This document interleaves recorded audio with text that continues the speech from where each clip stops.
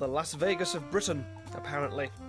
There's an epidemic of street crime reported in Russia where people are bemused into handing over their belongings to scam artists. I thought Blackpool holidaymakers would be perfect to try it on. Now, this worked on about two thirds of the people I approached.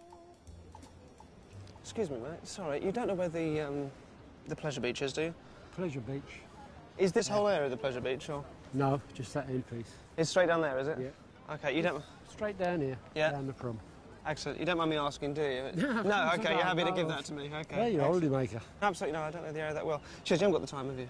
No. Great. Can I just No. give you? Can I just grab your wallet off you? Thanks. Can I just grab that from you? Thanks. Thank you ever so much. I'll take that. No, it's such a hot day, isn't it? All right. So straight down there, down the end and on the right. Yeah, that's right. All right. Thank you very Yeah, much. Just walk out there. All right. Lovely. Thanks. Props. Cheers. Thanks, mate.